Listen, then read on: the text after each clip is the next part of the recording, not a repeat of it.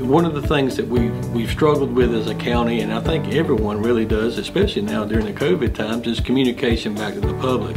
So you know, is is in the world of technology that we're in, I thought, you know, myself, I said, you know, an app would be good if it was free and people could download an app on their smartphone and uh, and be able to get uh, notifications of, of the meetings that are coming up with the county you know, it's, it's easy when you're living in around the county seat to know what's going on, but when you live 30 or 35 minutes north, like a lot of people in the Powdersville area or 3 and 20 area or Piedmont area do, a lot of times they, they, they weren't getting the notifications and, and how could we better communicate with our constituents.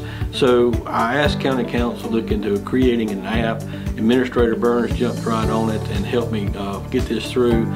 So now we have a free app coming out. Uh, it's an Anderson County app, and once you download it on your smartphone, and, you, and it's a short registration process, it's free.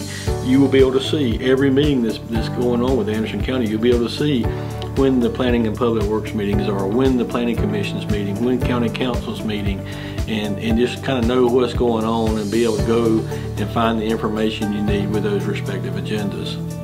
You'll also be able to report things that are important to you in there too. That's correct. And you know, we had a YourGov app. And a lot of people are using that for potholes and, and trash and debris, but this is also a way to report back to the county any issues you may see because a lot of people don't know really who their council person may be. So this is a way that, that they can report back to the county and we can address these issues as they come up.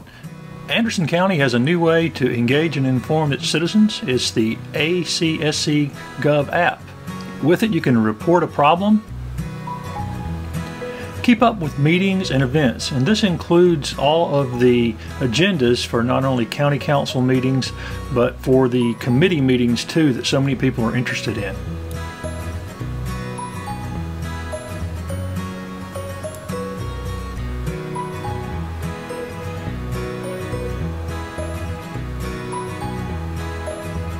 This app also provides information on the latest news in Anderson County.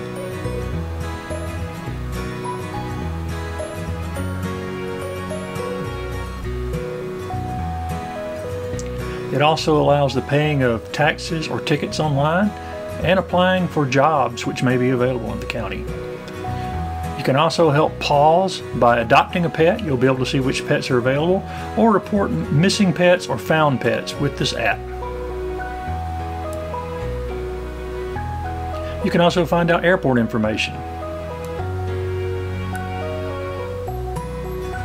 And you can visit the Anderson County website from right within the app.